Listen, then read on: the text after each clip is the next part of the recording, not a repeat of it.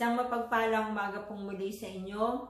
Welcome to Daily Walking with Jesus to Eternity. Basahin na po natin ang salita ng Diyos na matatagpuan sa unang Juan chapter 3 verse 4 to 10. Ang bawat nagkakasala ay lumalabag sa kautusan ng Diyos sapagkat ang kasalanan ay paglabag sa kautusan. Nalalaman ninyong naparito si Kristo upang pawiin ang ating mga kasalanan at siya'y walang kasalanan. Ang nananatili sa Kanya ay hindi nagpapatuloy sa pagkakasala. Ang sinumang nagpapatuloy sa pagkakasala ay hindi nakakita ni nakakakilala sa Kanya. Mga anak, huwag kayong padaya kanino man ang sino mang gumagawa ng matuwid ay matuwid, katulad ni Kristo. Ang nagpapatuloy sa pagkakasala ay kampo ng Diablo, sapagkat sa simula pa ay gumagawa na ng kasalanan ng Diablo.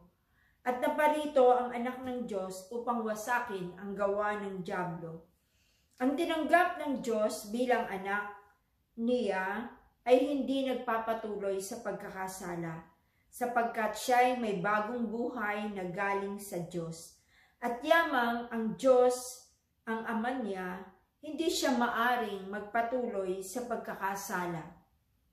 Dito makikilala kung sino ang mga anak ng Diyos at kung sino ang mga anak ng Diablo. Ang sino mang hindi gumagawa ng matuwid at hindi umiibig sa kanyang kapatid ay hindi anak ng Diyos. Pagpalain ng Panginoon ang kanyang mga salita. Kahapon ay pinasimula natin ang patungkol sa pagiging anak ng Diyos. At natutunan natin kahapon na ang mga anak ng Diyos, ang tinuturing ng mga anak ng Diyos ay yung mga taong nagsitanggap, nanampalataya at nanalig sa anak ni sa Panginoong Hesus. Sila ay tinawag ng mga anak ng Diyos at ang mga anak ng Diyos na ito ay nananatili sa kanyang relasyon sa Panginoon.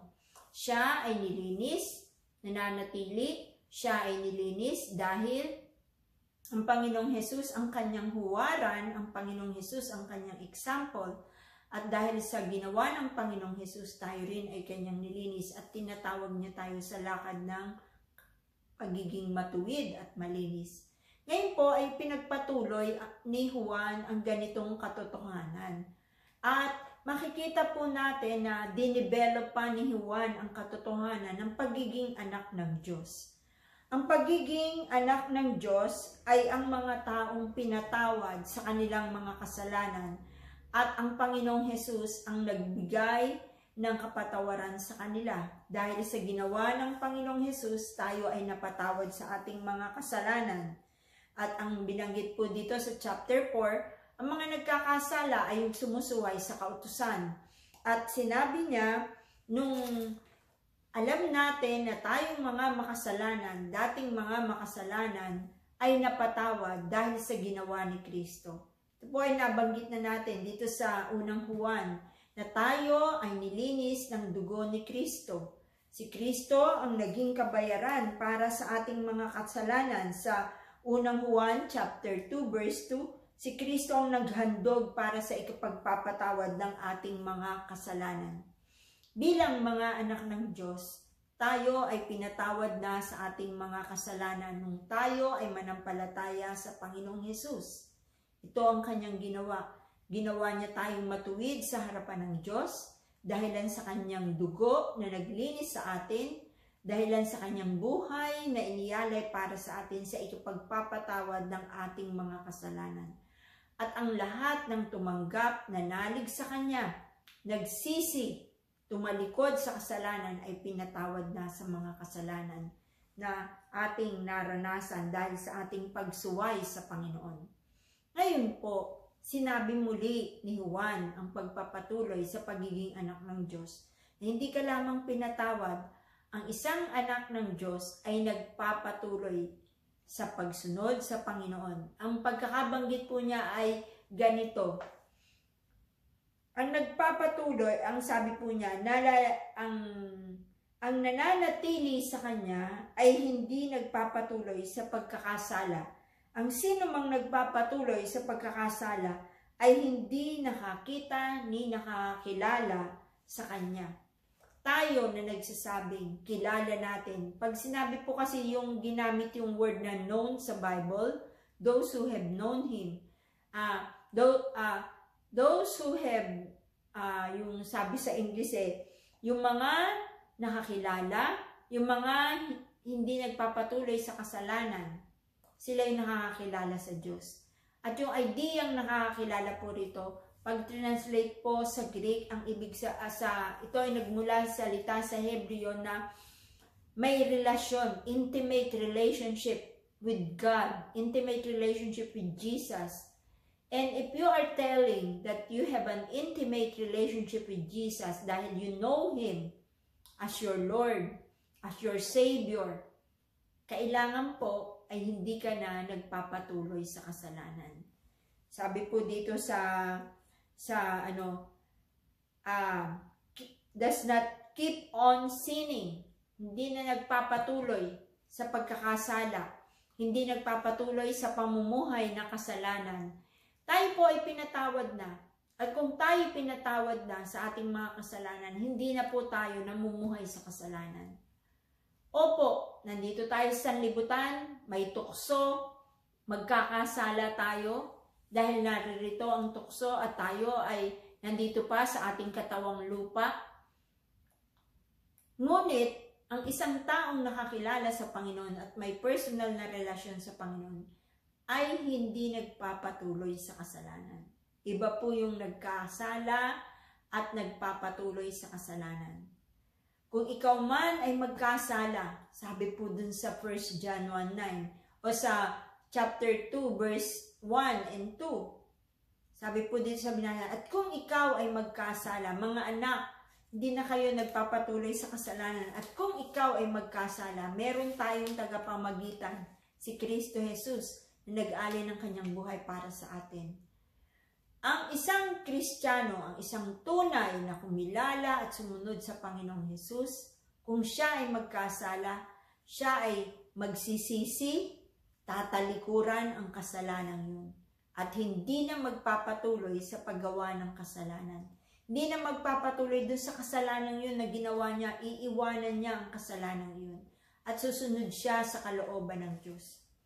Isa pang pagpapaalala sa atin ni Juan, kasi nga po binibigyang diin ang hindi pagpapatuloy sa kasalanan Sinabi po niya, ang sino mang gumagawa ng matuwid ay matuwid, katulad ni Kristo.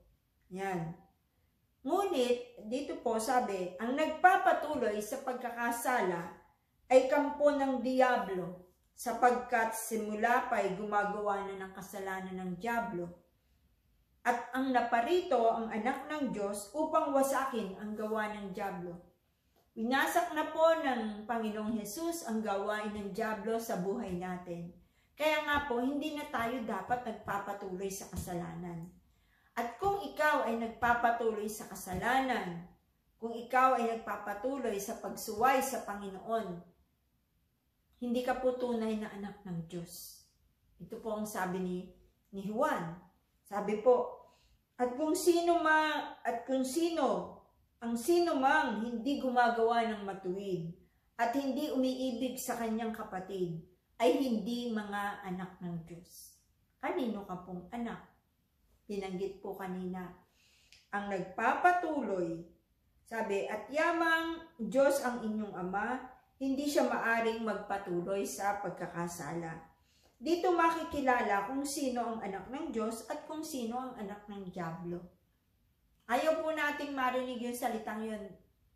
Ayaw natin tanggapin. Yes, kahit ako hindi ko po tatanggapin na ako ay tawaging anak ng Diablo.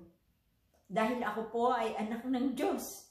At ako ay tinubos ni Kristo. At dahil ako po ay anak ng Diyos, ako po ay magpapatuloy sa pagsunod sa kanyang kalooban, ibigin ang aking kapwa, at gumawa ng matuwid hindi na rin po ako magpapatuloy sa buhay ng makasalanan. At kung ako man po ay magkasala, ako po ay hihingi ng tawad, magpapakumbaba, magsisisi, at lalayuan ang kasalanan. Yan po ang tunay na anak ng Diyos. Nananatili sa kanyang relasyon sa Panginoon, sinusunod ang kalooban ng Diyos. Pangalawa, pangatlo po, siya ay hindi na namumuhay sa kasalanan at hindi nagpapatuloy sa kasalanan. Bagkos, siya ay sumusunod, nagmamahal sa kanyang kapwa. Dalangin ko po sa Panginoon na tayo ay tunay na magpakita na tayo ay anak ng Diyos. Dahil po tayo ay hindi nagpapatuloy na sa kasalanan. Tayo ay umiibig sa ating kapwa, gumagawa ng matuwid. Mamuhay po tayo bilang mga anak ng Diyos. Ipakita po natin ang tunay na katotohanan na kung ikaw ay anak ng Diyos, namumuhay ka sa pagsunod sa Panginoon. Sana po pakinggan natin ang salita ng Diyos sa umagang ito. Huwag lang po nating sabihin na tayo ay Kristiyano, huwag lang po nating sabihin na tayo mga anak ng Diyos, ang Ama, ang Diyos ang ating Ama, iyan po ay ipinamumuhay. Nilalayuan mo ang kasalanan, namumuhay ka ng matuwid at malinis sa harapan ng Panginoon. Pagpalain po ng Diyos ang kanyang mga salita at nawa nga po at tayo'y makinig sa mensahe ng Panginoon sa ating, sa ating buhay. Tayo po ay manalangin. Diyos naming Ama na makapangyarihan sa lahat, Ikaw na siyang nagligtas sa amin, Ikaw na siyang tumawag sa amin bilang aming bilang mga anak mo, Panginoon. Simula nang tanggapin at kilalanin namin ang iyong anak na si Jesus. Salamat po sa buhay na walang hanggan na ipinagkaloob mo sa amin. Ngayon, Panginoon, muli mong sinasabi sa amin na ang sino mang tinatawag na iyong mga anak ay namumuhay sa pagsunod sa iyo, nananatili sa iyong piling, at higit sa lahat, Panginoon, hindi namumuhay sa kasalanan. Salamat, Panginoon, sa paalalang ito. Tulungan mo kami na mamuhay ayon sa iyong kalooban, mamuhay sa pagsunod. Pagpalain mo po ang mga bawat tagapakinig, Panginoon, na ang iyong mga salita ay kanilang dinggin, ang iyong mga salita ay kanilang isagawa. At ikaw nga po ang tiyang pumilos sa buhay ng bawat isa. Ito po ang aking samot dalangin sa pangalan ng iyong anak na si Jesus. Amen. Pagpalain po kayo ng Panginoon